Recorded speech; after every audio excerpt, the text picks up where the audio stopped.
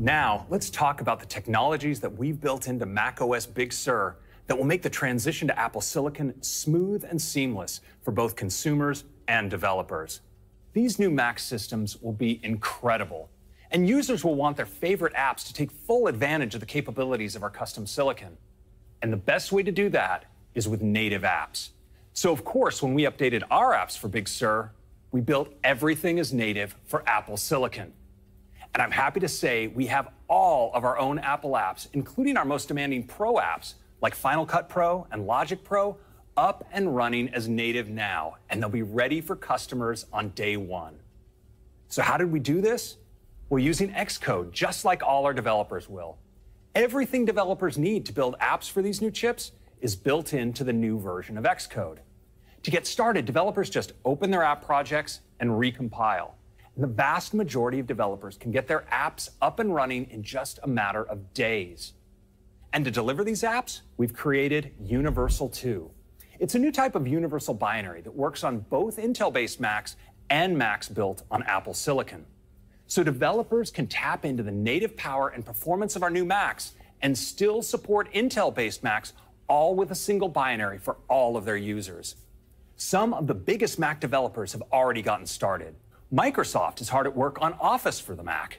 And we've been working with Adobe on their flagship Creative Cloud, and many of their apps are already up and running great.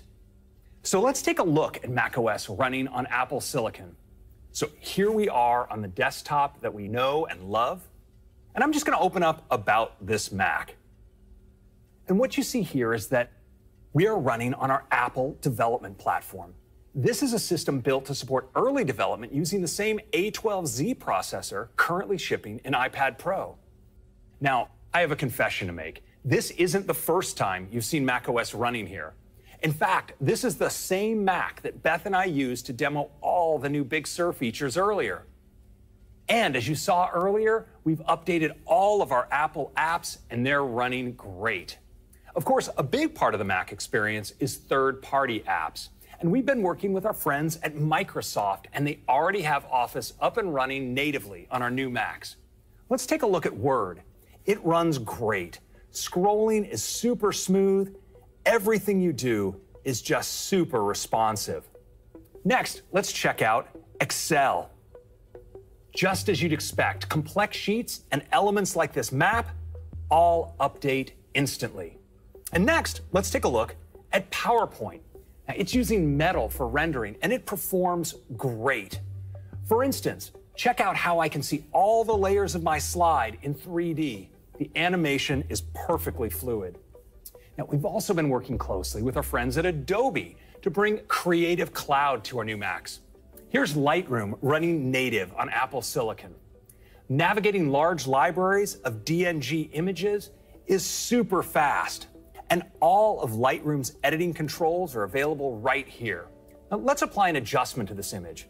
Well, that's much better, and we can apply that same edit to all of these images in a single step looks great. Next, let me show you the app I know many of you want to see, Photoshop.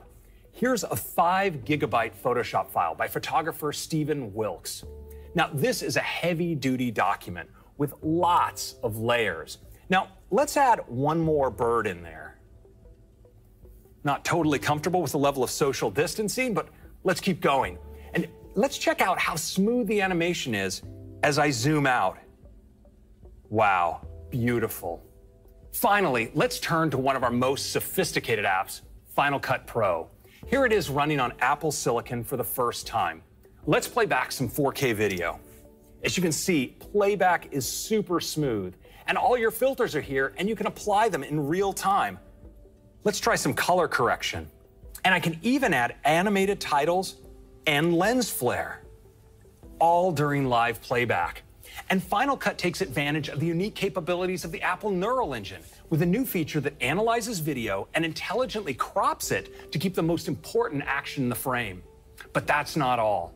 Final Cut fully exploits the system's multi core architecture to let us play back not just one or two, but three streams of full resolution 4K ProRes, all on an A12Z processor. Amazing. So that's a first look at Universal Apps on Apple Silicon. We're really excited to see so much great work on native apps. These apps even get more amazing when they're built to take advantage of the Silicon's powerful capabilities, like its incredible CPU and graphics performance, a unified memory architecture, and the neural engine, which accelerates advanced machine learning tasks.